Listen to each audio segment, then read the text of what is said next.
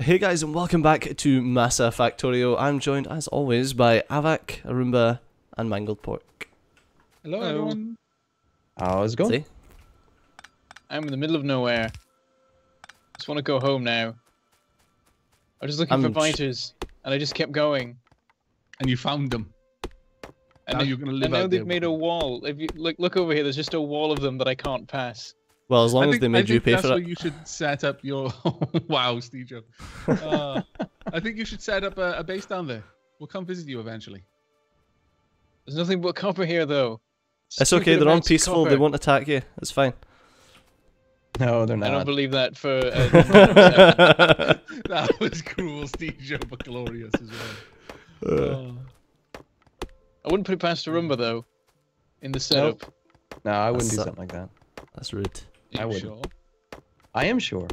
I I recognize that I I am rare in that I hate biters. Not everyone is that way. Plenty of people like like you guys in particular. You guys like biters, so have at it. Enjoy them. They're they're here. You can play with biters. I like them Well, the game insofar will be- as they add an enemy, but I feel like they need to be better. Mm-hmm. I've just never really thought that as a as a an enemy or like a an, a, an opponent, they really solve the problem properly. Flying or subterranean biters. There we go. Oh lord. Great. Oh great. Now you're Burrowing giving them. worms that I wanted to. know, I wanted just to be a drop- water update where there are sea biters crap. and ships, cargo ships that you can send.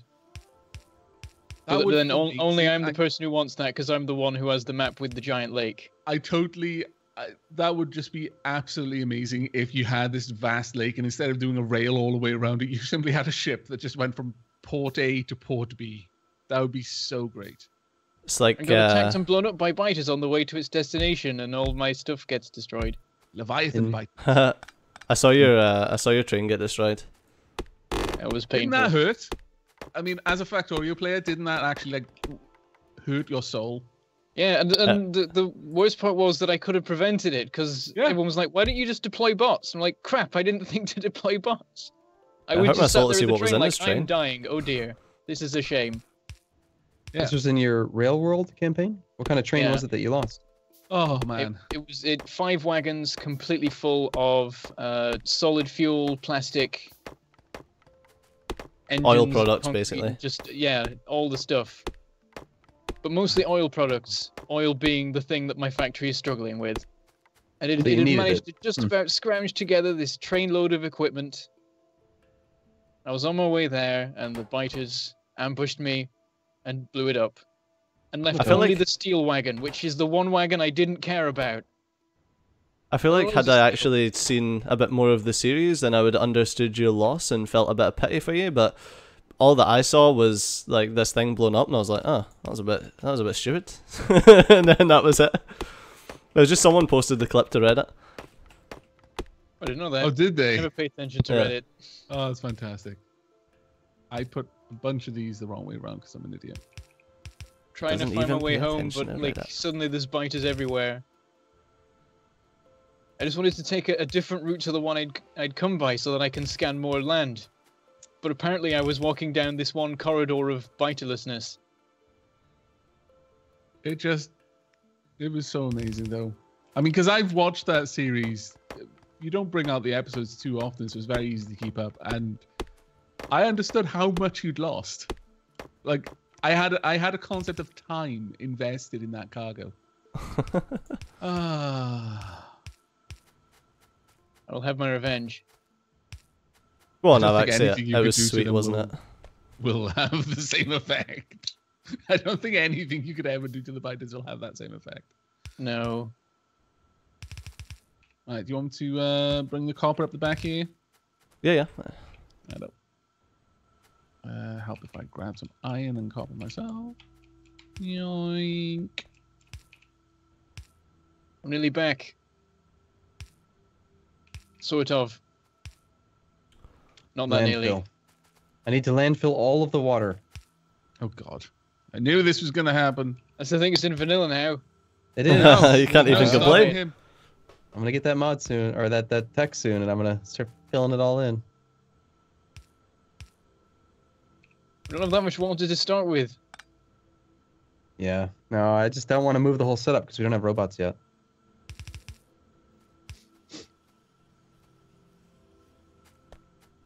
Nearly returned. Right. So on the topic of bus, what do you guys tend to put on your on your bus? Usually for me, it's things like um, things that are used in very high quantities, like uh, iron, obviously copper, plastic. Steel. And things that are a pain in the ass to make locally. yeah. So for example, red circuits often end up on my bus. Yeah, all the all the They're always circuits. built local to where they're needed. You build green local? Yeah. Wow. Yeah. No, I I- just always build it local because I'll just I'll just branch off the uh, copper and then I'll just make it local to, to where it's needed. In, in it, it always seems to make sense for me. I'll just increase the the amount that I'm making of whatever needed the green circuit to use how much I'm making locally. I was gonna say then you Yeah. would need to you would work out your ratios based on the Yeah. three to four the the three to two green circuits. Yeah. I find that green circuits are, are like a third primary resource. You use so many. Yeah. Yeah, it's so easy to make is is is my thing because it's it just needs copper and iron and it it's Hmm. fairly simple to just set up a little area that just makes a vast amount of them if you need a lot or just one little area that will that either you upscale what you're outputting to match your supply of green circuits or you just accept that eh, they're not the factories aren't going to be working all the time um No, you can't accept that. Well, how do you? uh, usually i try ra- not to but every now and then i'm like "Ah, I, I can't be bothered well, how do you I've got handle it more when you important things to do with my time, like expand my rail network. when you start doing beacons though? Like, you don't do a Oh, beacon yeah. green circuit setup, do you? I never beacon green circuit. Ah, well, that might be part of the reason for the disparity. I usually try to build setups that like scale really well into the beacon phase of the game because Eventually, you're gonna want to beacon- yeah, you, you have to if you really want to get good throughput. You got to beacon all your green. You got to beacon I everything. never use beacons. Oh my god, you have a I- you you were just saying you have a factory you've been playing for two and a half years. How have you not used beacons on it? Actually, I have just started just using used them on the for two and a oil because years. oil is terrible. Uh, Okay. yeah, I'm oil just- is probably the first thing I beacon. It's the first thing that usually gets any mods that I make is oil. Um, and occasionally Oil is on a few of the others. Uh, the actual Pump jacks? cells. Yeah, Oh really? yeah. I put, Put- speed down on them and then beacon them. up. Put speeds in them, but that's about. Oh, I, I, I beacon them quite extensively when I can because they're annoying enough in most of the games that I really don't want to have to set up more outposts for them. So the more I can get out of any one particular outpost, the happier I am. Yeah. And mm, I don't know. I feel like with I always play with RSO though, so the farther away, the more oil you get. Yeah. Although I mean, that's vanilla now as well, is it it's- not? It all comes down to the the map design. I mean, I, I scale it for what I'm doing. Like for example, in um, uh, in the most recent series that I had up on my channel, I was beaconing and, and doing stuff on just stone because stone is such a scarce resource there. It, it's really scarce. So I have to try and get the most out of every stone deposit I can. Hmm. Care about how fast it gets to the, the, the factory, just as much of it gets there as possible Yeah. beaconed up with productivity, and I and that's one thing I like about not having everything being the same. You know, you, you've got different setups. I'm gonna make shotgun purely to destroy forests. Uh, uh, you're still quicker off Really? chopping them. Yeah. Unfortunately, the the regular shotgun is crap. Oh, poop. Yeah.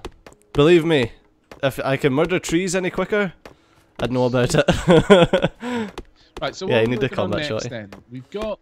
Have we actually got any science automation yet? Uh, No, we don't. no, I was making Nope. the I was making the green circuit so that we could Yeah, so- get red and then green science done like Okay. one Well, it'll be after the interesting other. to see how how uh, this setup of having green circuits on the main bus will will go, because that, that is very different from the way I usually play myself. I like how you're just so- so focused on making a main bus that we don't have science yet. Yep, yep. Who needs I usually science, build man? like a like a oh, mini no, I've factory got- to get the science and the basic materials ready. Yeah, that, that's usually that what I build do. I like bus. I have my main landfall I bet- factory, which is just this spaghetti mess. A bit And I'll strapped. usually enshrine it with like walls. It'll be this like old relic from the past. and then my mega factory just builds up around it, and I just keep it like a museum piece. It's like from humble beginnings. I make like my my production square, which is just like one red science, one gears, one circuits, one uh, Yeah. wires. Here, I'll do a, a very, very basic red, just to get red, all, all the red taken care of. Need iron. Otherwise, you're right. We're, we're, we're actually we don't even have steel. We're on like episode three, and we don't even Oh, have but- steel. It's But rather we have sad. we have like I take it you were amused. Fully by operational- My sucking up all of the iron. Yeah. we've got fully operational circuit production over here with four assemblers already. Yeah, of with level one assemblers. Yeah, well, what have you guys been doing? Huh? Uh, We've been punks. exploring. Yeah, We've been well then. new life and new civilizations and boldly going where no man has gone before. Balls have See, I've I've managed to do fucking green circuits, and you're whinging because green circuits are done. Yeah, because yeah, but you could have you could have done science. Uh, fuck you. wow, Wow, some really struck a hostility I'm sensing here. Jeez. Yeah. Fucking Steejo does stuff, and people whinge. Steejo doesn't do stuff, and people whinge. Fucking no winning. Well, you should know He's this. doing the You're wrong Steve-O. stuff. That's the problem. I'm gonna fucking do wrong stuff all over your face, Oh, How'd like that? and you'll end up with pink eye. Excuse that me? descended quickly.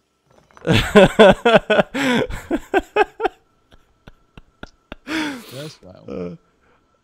oh, what the fuck? I was trying to build something. I know. I know. I know. Hmm. Uh, not there, not there. Okay, everything else sorted out. All right. right. Okay. So where are we going to be? Oh, okay. You've uh, run it all over here. Arumba is in charge of making the sciences. Well done. It's just red. It's just it's temporary. I'm in, Well, I'm to be honest, for. you know, anything, anything moving forward, progress, my man, progress. It is all it's, good. it's all temporary. Yeah. I do agree that uh, like busing gears usually feels not. Oh, Useful, bussing but it- gears is just. Uh, I, I know some people swear by it, but I cannot get behind bussing gears. I, No, I won't even waste of time. entertain the thought of it. It's I like, always do that. Usually, it's like, okay, well, let's see how it how it works. You know, maybe I I've just been blind to how useful this is all this time. But it's like, no, bussing gears, no. I See, I've seen Mangled never Pork do not this done that. and I love one of the things that Mangled Pork has done in, in our previous campaigns is he'll usually do you usually do a belt with green circuits and, and gears on it, and it's just so freaking convenient. Even though the throughput's crap, having gears and, and circuits on it makes so many of the early game items easy. But it's gears, That's man. always It's one my- fucking my factory. and that one factory can actually supply quite a lot as well. Yeah, well, I always use gears as my like. That is the the minimum for my ratios. Ah, right, okay. So it's like I'm doing science, so I'll do one gear factory and then like ten science production. We are currently working on electronics, so that means we're going to have the filter inserter soon after. I always feel like that comes like sooner than than you'd expect. Because I don't Oh. use it till like That's till we get to like blue sign sort of levels. I very rarely use a filter inserter. yeah, most most of the time a good setup you don't really need. I to use filter it for a couple of things because, like, I like to have very compact. Like when I'm expanding my train network, I'll usually have little um, sort of military outposts, which will have a radar, um, and just a couple of guns. If for no no other reason to draw bite or aggression, if a base pops up, because now in vanilla, bases just you know they're very good at just popping back up. Um, I'll have these little bases just to kind of draw their aggression to a place where I've got defenses rather than them messing anything else up. Um, so I use filter inserters on that because I try to have them as small as I can. And for that, I need filter inserters and circuit networks to like work out what they should be unloading off the bullet train that just rushes past every now and then to drop off. Yeah, I like. I like that you can set um set filters via circuit Yeah. network conditions. It's That's really, nice. really useful. But that's the only time I do it. I don't really use it for anything else. Um, like it's certainly not a part of my main factory. Yeah. Ah, trees. How I hate thee. I know I've got loads of uh, wood in my inventory. I've just got a little wooden chest that I keep dumping it. I see Yeah, I- doing the exact same thing I just done, but in a different spot. Extra red signs, Steejo. Yeah, because yours is fucking squirrely. Like, what You- the fuck is this? It's not even on the bus. It doesn't Like, you matter. coulda- you You your could have bus actually used your uh, nah. your skills for good, but no, you used them for idiocy. I've seen your spaghetti factory. This is not going to become one of them. Sure it is. We got four people. It's gonna be a fact. It's gonna be spaghetti. You know it. No, You can't keep control got- forever. Yes. we've got four semi-intelligent people. I've started building belts now. It's only a matter of time before it all descends into chaos. Oh no, it's fine because there's a wooden chest in one of these uh, furnaces. I like that. I like that a lot. Um, what I was gonna say is all we need to do is find some sort of gem equivalent, and we'll you'll disappear for like three episodes. I Yeah, should make you a should- sorting loop for the four ores. You should make a sorting loop for the the wood. Tell you what though, um, it was kind of based off of what you did uh, with that gem loop that I set up a uh, loop for my science, and all I had was the belt delivering the the the raw resources for the factories, and then I had a loop that uh, used circuits to work out what was needed. Um, there was like a, a mini loop that had all of the science packs on it, and the belts were reading what science packs were there. And then whatever I didn't have, it would load the resources onto the main loop and then pass it around the assembly loop, and it would just make the the science packs and just dump it off. It was really really fun, but so impractical. It was amazing to make, but it was it, it, I it was it was basically a Pythagoras switch for science packs. That's all I, I. It took me hours to do as well, and all I'd done is make a Pythagoras switch. It's like when someone is like, "Hey, what if you what if you put, built your entire factory on a loop that had everything on it?" I've yeah, done that. no one's ever It's done that. possible, but but I know. No, no one would ever be that crazy. po- not possible, like- but I would never ever do it. It's not like I've got an entire series based around that exact concept. Literally everything on it. How Um. does it work though? Do you like? not very well. Not very well, okay. I loved how it started out. I'm never going to use robots, and towards the end, it's like, oh my god, robots. Yeah, it was like, fuck this, just send the robots. And then it turned into an all robot factory, which people still request today. They're like, Steejo, why don't you do a series where it's just all robot factory? And I was like, because I'd done it and it was boring as fuck. It's like when someone's like, "Hey, what if you make a factory where you never use belts?" It's like it can be done, but no. yeah, what about the uh, the no pocket crafting challenge? It's like, yeah, I could do it, but it'd be boring as fuck. And then I ended up doing it anyway because they made it an achievement, and that's just like taunting me. That's the thing. I, did that before I- it was an achievement, honest, and now I I'm don't mind that. regretting not waiting. I don't mind that at all. Um, the idea that you want to automate everything, so as soon as Yeah. you can build a factory to do it, you do.